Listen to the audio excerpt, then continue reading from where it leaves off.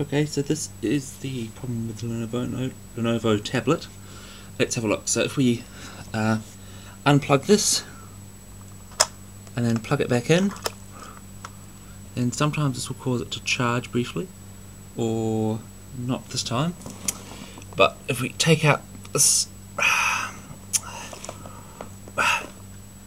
and then plug it back in, and then oh it starts to charge. And um, it's currently 69% uh, and then oh, it stops charging again.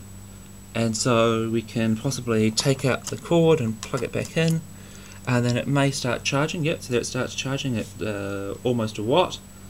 Um, and if you can't quite see it maybe the lightning symbol the lightning symbol on that tablet has disappeared. And it's not charging anymore. So we can unplug it and plug it in. And it will charge for say one, two, three, four, five, about say five seconds. Uh, try again.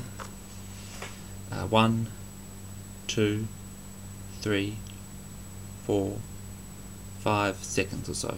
Um, and then it will stop charging. So incidentally this is using the um, official Lenovo charger. Um, so we had a problem with the one the other Lenovo chargers not working, but I think the problem the this charge here actually does work. Um, so for example, if I pull that out there and plug it into my phone, then um, it should just charge. So let's plug it in there, and it's charging. Um, so it's charging reasonably well, like three watts or so. Um, and as we noticed with the tablet, even though it was uh, at 69% battery, uh, it wouldn't charge for more than a few seconds, uh, about 5 seconds, and so this has all been charging for a while, and so for example, let's say another 5 seconds, 1, 2, 3, 4, 5. So the official Lenovo charger is having no problems charging my LG phone, it's charging reasonably fast, um, but it only put a very brief bit of power into the Lenovo tablet. So the Lenovo tablet will only charge for 5 seconds, whereas other things will charge fine. So this suggests to me there's still a problem with the uh, charging, at least via USB, on the Lenovo tablet.